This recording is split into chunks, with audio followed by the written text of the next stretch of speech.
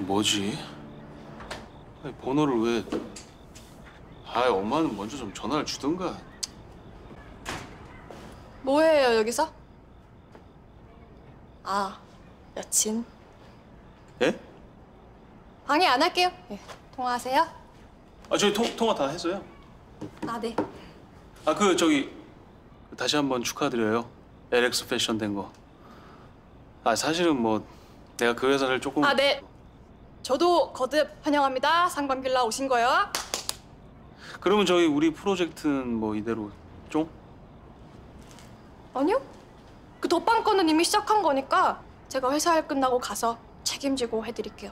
그거는 당연한 거고 리모델링이랑 다른 건도 껴달라면서요. 안 된다며요. 내가 언제 생각해 본다 그랬지. 그럼 껴주게요? 그럼 할게요. 아 대신 밤에 회사 일 끝나고 이 팔팔 끓는 욕망 어떻게 할 거야? 욕심인가? 생색은 진짜. 이제 안 해줘도 될 것 같으니까 이러는 거 누가 모를까 봐요? 어떻게 알았지? 전화 오네요.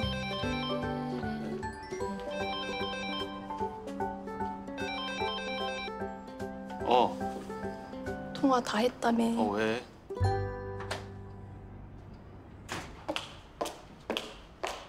오빠 이사 갔어? 야, 네가 어떻게? 뭐? 아, 거길 왜 가?